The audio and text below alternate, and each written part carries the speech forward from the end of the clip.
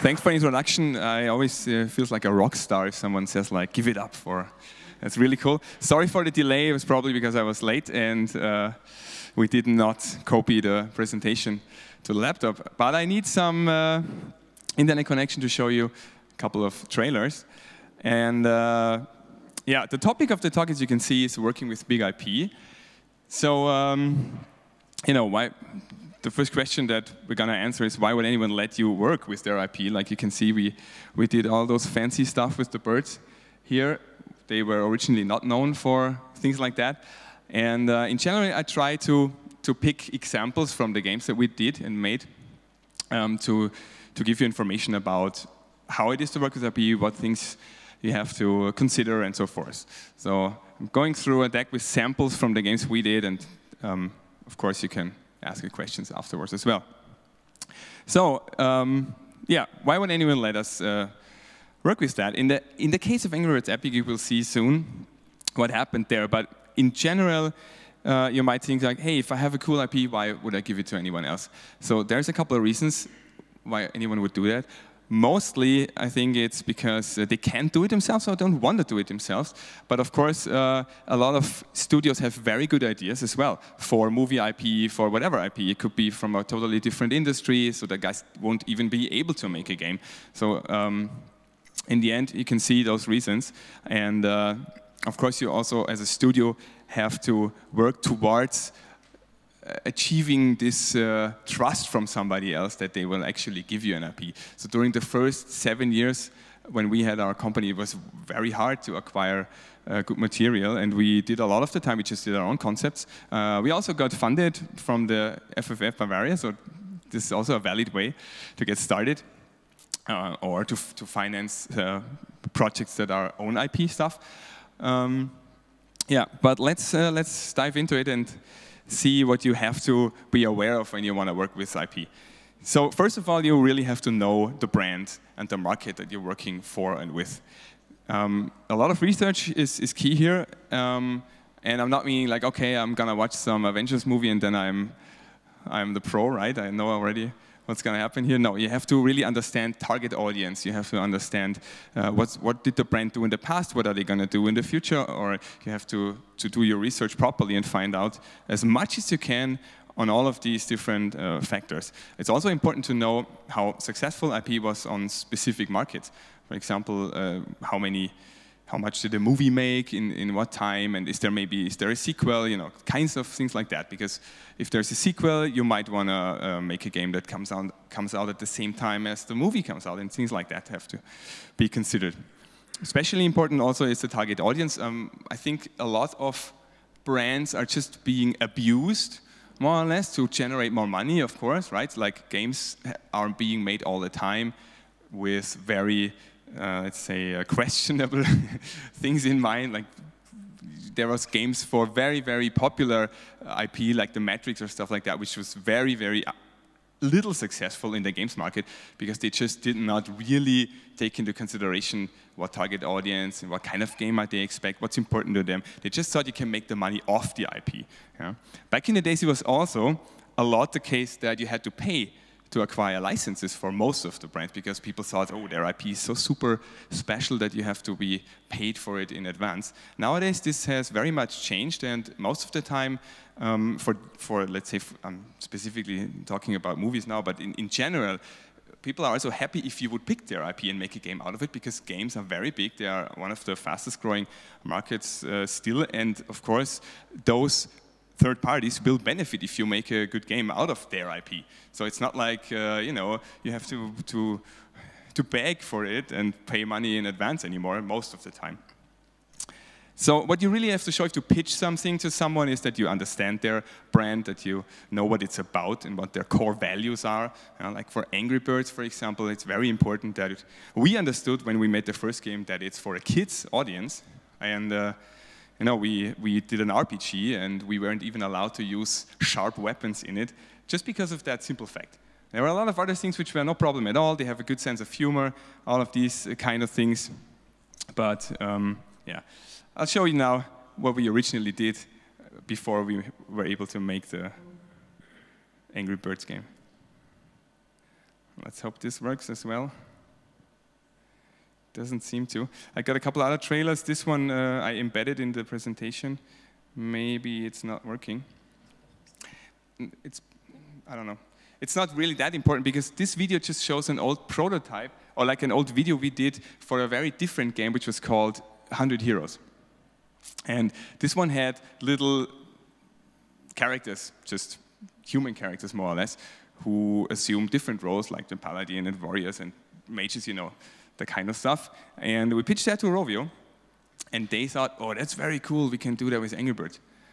And we were like, really? Why? What's that got to do with Angry Birds? What we didn't know at this time was that they actually tried to get their IP into very different market space and make it available for a very different crowd because they just had those slingshot games going on, which you maybe know of, that they make the big success in the first place, but then they tried to reinvent their own uh, brand and they came up with a racing game, which was, I think, the first one made at around the same time that we did ours. And uh, yeah, we came up with this RPG idea and they thought it would suit the brand very well. And then we worked on a specific pitch for the Angry Birds IP, which included where we came up with the idea that these headgears that you can change that you saw in the first slide, that those kind of things make the difference between like a mage or a, a paladin and things like that. They loved the idea, and that's more or less already uh, was our entry into the, the brand, and then we were able to make a prototype and so forth. Uh, it's a bit sad that I can't show that, but it's not a big thing. Um, so, like I said before, there have been some restrictions, of course. So, anytime you work with an IP, you probably encounter those uh, restrictions because the IP holders they might want you to use things in a different way or in a specific way, and you know to to stick to their brand values. In this case, like I said, it's for kids. It can be violent, uh, which was a bit um, tricky because we had those uh, birds fighting the pigs, right? And when they knocked them down, what we do with them. So actually, no, none of these died. They just rolled over and have been unconscious, more or less. Now, all these little things were important, but in the end, it didn't really make the game worse. Not in any way. It was even possible to pick a lot of those things and make it more fun because it was a different thing, and it was not like you always have used to, just sword, blood, dead. No, we just did it differently, and we had a lot of different fun animations and all those animations, or a lot of those, had to go through the approval process because the animations had to look like the original ones, more or less, and also they did cartoons and things like that, and all of these kind of things related to the art style really had to be close or more or less the same than the brand was before. Everything else, like the whole gameplay, the design, you know, like from the meta core game, everything we did there was totally uh, owned by us and we had creative freedom about it. We just had to be sure to stick to those simple rules and brand values. And uh, yeah, there have been a couple of things. And in the end, it was not a big problem. We just worked our way around it. Yeah, and eventually during live uh, operations, a couple years into the uh, live ops of the game, we also took ownership of all of that because Rovio just, you know, they didn't want to care for it that much anymore. And so they gave it completely to us. And uh, in the end, we, we had this game running for more or less five years. It's still out there, and it's been very successful. And uh, yes, it was also a game changer for us that we had a concept that we could make with an IP. If we would have made the game without Angry Birds, I'm pretty sure, most likely, nobody would have cared for it. And it was really a good game. Like, of course, it's easy to say, but I think we had very good critics and also very well received from the community. And there is people playing the game for two or three years. And this definitely shows you that it's a good game. Um, but the thing is, if you make a good game and nobody knows it and nobody sees it, then it doesn't matter, right? So IP is just a very, very big help. And in the end, it doesn't really matter that much what IP you took, as long as you think it fits your game or the game fits the IP and you can make something cool out of it, something new and original. And to underline this point, uh, I can show you a trailer, which at the first uh, glance you might also think like, what has that to do with Angry Birds? But um, let's see, I hope this works. Should work, we just tried it out. Uh, that looks good.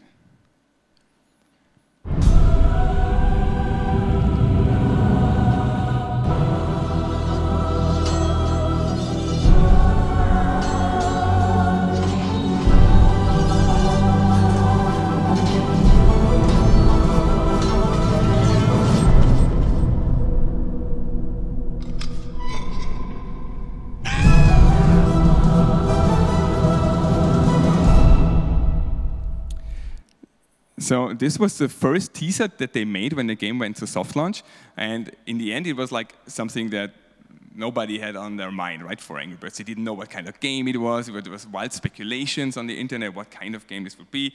And so this really, really helped uh, push the brand.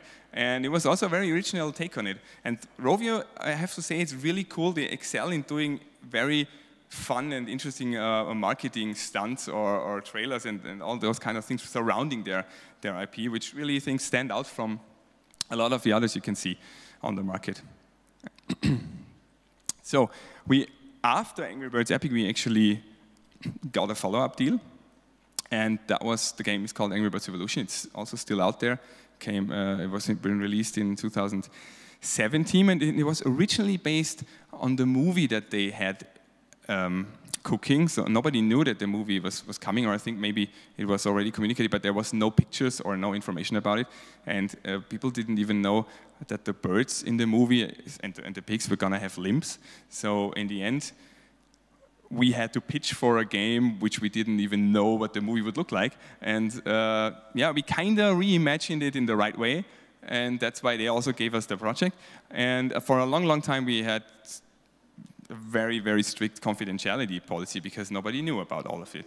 We couldn't show any artwork. We, we, we had to be very, very careful and all of this kind of stuff. So these are also restrictions you have to be aware when working with IP, that sometimes it's very confidential and um, yeah, you can't even tell, I don't know, your wife about it or whatever, because it's just strict policy, legal implications, you know, you have to sign contracts for that if you get uh, a deal like that.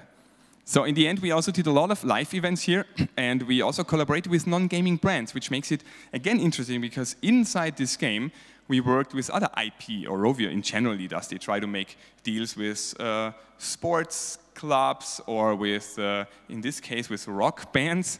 So you can see here, there have been a lot of different birds and pigs in the game, which were related to some pop culture references. And some of them, like to the right, uh, Eddie, Eddie the Bird from Iron Maiden was really like, they wanted to have this rock uh, emphasis in the game, you know, because all of this was, uh, I say, like more an adult audience, so they picked stuff that were interesting less for kids, but more for adults. So you can see in this case, they also wanted to shift their target audience, which was not the case with Angry Birds Epic. So a, a brand can reinvent its, itself, and uh, you just have to think creatively. I mean, I think I, I, put it like this here. If you got a crazy idea, make it twice as crazy. That was more or less what they told us when we first started to make the game. And that's why we came up with like hundreds of very diverse uh, birds. So I think even so, some of them are definitely not uh, for kids. know, they did some trailers where even when we said like, yeah, that's, that's really kind of risky know, to do that. Uh, you, can, you can Google a bit. There's some fun stuff out there about the evolution birds. And one of the things they did here, incorporating the, um, the Iron Maiden sub-brand, if you want to uh, say that, was also a very fun um, trailer. I'll show you that as well.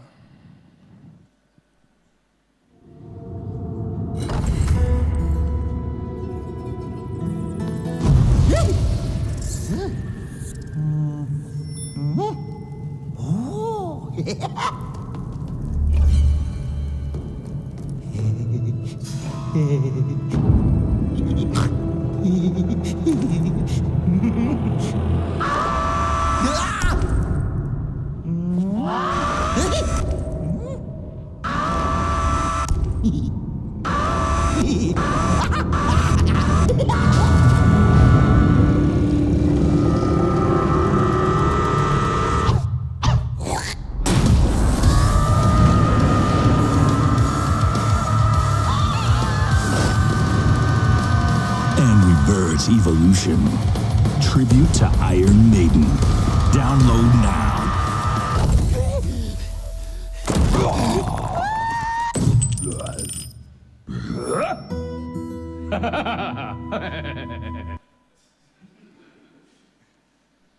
so uh, you can see here that these kind of things might seem a bit not really related to each other, right? But um, in the end, that was what the fun was surrounding this IP in general, right? The, the, the guys at Rovio, they just you could also say they only had this one big brand which everyone knew and they just tried to, of course, make a lot of good games out of it and generate money. Sure, why not? It, everyone knows that. And it was, I think, for a while it was the biggest brand on mobile for sure. So, of course, they tried to exploit it in a way. But I think they also did a very good job in not doing the same stuff, but really bringing new things uh, into the IP. And as you can see here, the creativity was kind of limitless uh, here. And that's, I think it was very nice. Um, way to work with, and uh, for us, of course, a, a fun experience. So um, there was also other things that we did, and um, it shows that IP is also sometimes difficult to handle. In this specific case of Sacred Legends, uh, it was a German IP, so it's an important thing to check, is an IP valid on the whole global market, or is it just you know, important for some countries or for some target audiences. So this might limit the way you can sell it or uh, the, target, the audience it might appeal to. And um, sure, it was also transferred to mobile. I think you recently maybe also read or saw that uh, Blizzard did announce a mobile game with their beloved Diablo brand. I'm not going to compare that, but you can see, yeah, you can also say the community is really weird sometimes because I really don't think that's cool to, to uh, make a big shitstorm out of that. But in the end, that's what happened, right? They did want to see a new game on PC or console and not on mobile, so they just thought it was not cool. Yeah, so know your target audience, know the platforms they might want to play it on, and so forth. Of course, mobile is just so big that you cannot ignore it with a big brand. So it was clear to most people that eventually brands like that just going to move to mobile. This doesn't mean that it will not be persistent on the other platforms as well. But, you know, you have to extend your brand. You have to extend the ways you can sell it and uh, get new target audiences because I can assure you that there is a lot of mobile players out there who would play a Diablo on mobile for sure, but would never buy it for PC or console. In this case, also, we had assets that we could reuse. For example, this is also a good thing about working with IP. In a lot of cases, you can just get pre-made material because you don't have to do it from scratch all the time. Now, of course, it has to be up to the, um, like state of the art and up to date, and it's not always possible. But um, in some cases, that's a very good kickstart, and it also saves money while developing a new game that's also a curiosity that we had the pleasure to work with in our very early days. It was the second game we actually did at Chimera. And uh, I don't know if all of you even know this brand, but it, back in the days, it was super successful on the Nintendo DS. And uh, this guy, Dr. Kawashima, is actually a real person. Also, not everybody knows that. So, interestingly, we, uh, and it was not a very big budget we had back then. It was the the IP was acquired by a, a local publisher for, for PC and Mac, and uh, they have selected us after we pitched for it, as we usually do.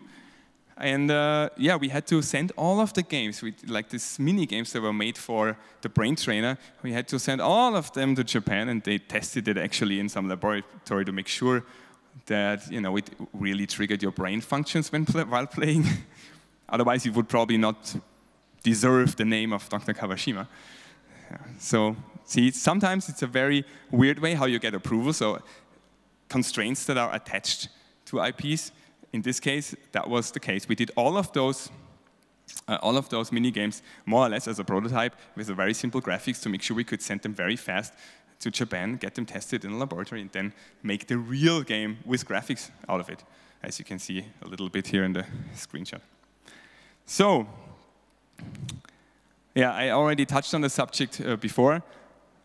That's the downside sometimes of working with ERP is that it, you cannot talk about it. We also are working again with Big IP. I cannot tell you more about that. We are also looking to work with that in the future because especially on mobile, and that's what we do a lot these days, uh, it's very, very hard to be successful without any IPs. It's, it's super tough. You know, the, the visibility you need so much marketing money. Everything, it, you can be super big, but if you have no visibility on the, on the platforms, on iOS, Android, and so forth, then you get no traction, you get no followers, no, no, no downloads, and this all is a downward spiral. And it can exactly be the other way around if you can support it by marketing campaigns that, uh, of course, cost a lot of money, but also very helpfully have those IPs they are related to. Then you can cross promo them and all those kind of things. So this is, a, a, of course, a science on, on its own, how, how they do these cross promos and IP supports other IP and so forth. But just to get an idea um, about that. Okay, I think um, I made it in time more or less. And I thank you for listening. Yeah, just give me your questions.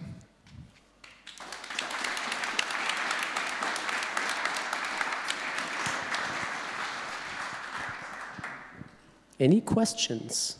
Perfect. Hi there. Uh, thank you for a great talk.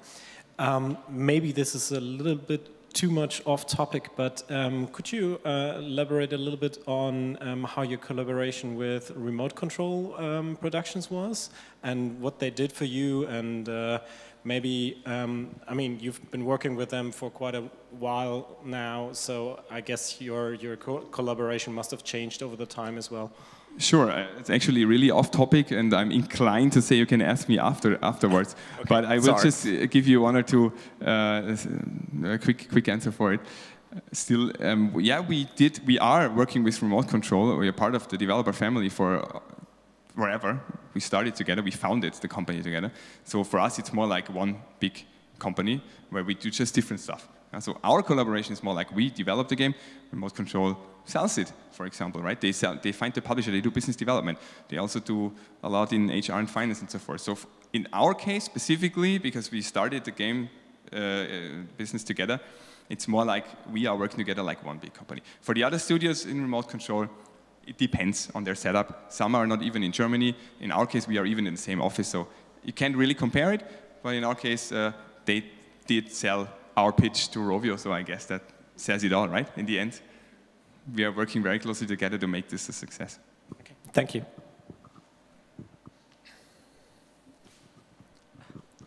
Uh, thanks for the talk, first of all. Um, can you think of any big IP that you were interested in uh, working with that IP and that you, after some consideration process, decided not to go for? It's a tough question, to be honest. Um, usually, we don't pitch if we are not interested at all.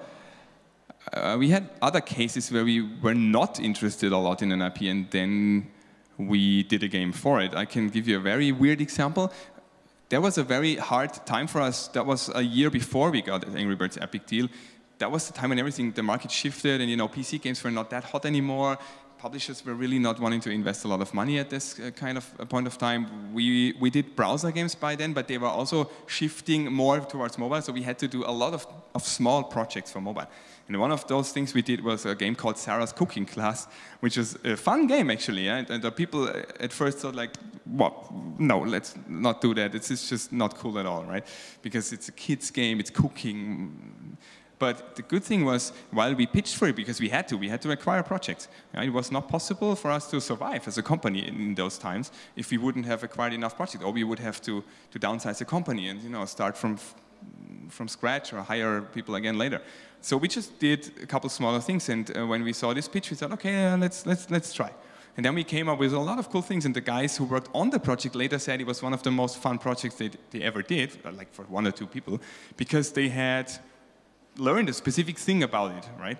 One of them just said, oh, I never did this or that in Unity. That was the first time I did it. So there can always be something attached to it which is not really related to the IP itself. And uh, we even have people saying, hey, now I got my girlfriend playing because the first time we did something that appealed to a female audience. So kind of cool, right? And we didn't want to pitch it. The other way around, I cannot think of something right now where we really wanted to do it and then we, we didn't want anymore. I, I have no, nothing in, in mind right now. Thank you.